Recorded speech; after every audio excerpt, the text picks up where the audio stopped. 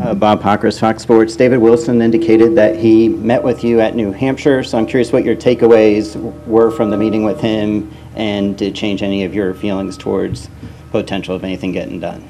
Uh, you know, we're all working as hard as we can, obviously, and the goal hasn't changed. And that goal is for me to be able to continue at Joe Gibbs Racing with Toyota and have that chance to continue to race for race wins and race for championships. And um, you know, that's that's what everybody's striving for. That's the first the first goal, um, and we'll continue to try to push for that and and um, these coming weeks.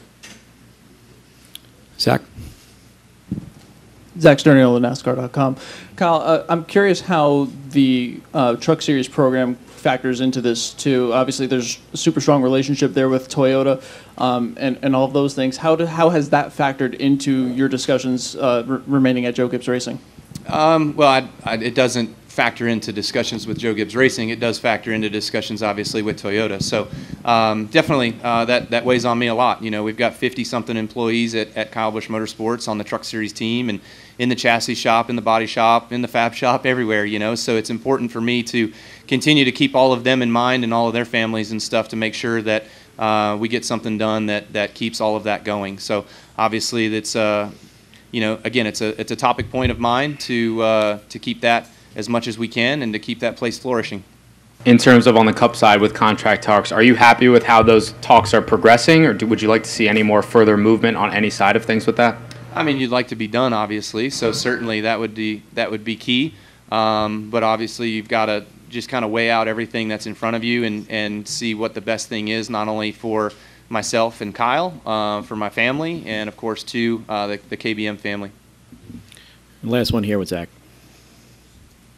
Anyone questions your ability behind the wheel, so uh, but ha- what kind of a distraction has it been? Ha- ha- once you put the helmet on, does it all go away, or is, does some of that linger um, once you get behind the wheel?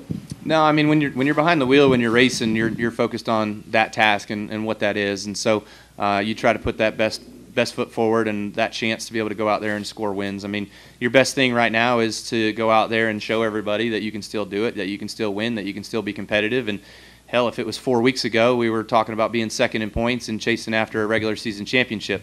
Uh, we went cold, and somebody else standing over there got hot. You know, so um, you know we've fallen uh, far away from that obviously right now, but we still want to make ourselves as high as we can in the points, get those reset points uh, from the standings aspect, and uh, be able to go chase for a championship.